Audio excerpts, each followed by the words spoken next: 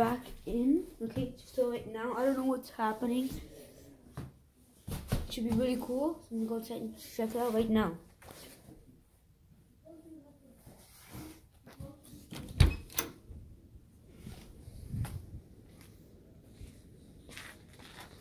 Well, okay, that is really cool. Uh, uh, why aren't you working?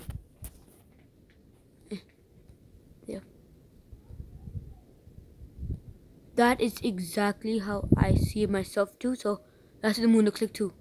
So it's all red and epic looking.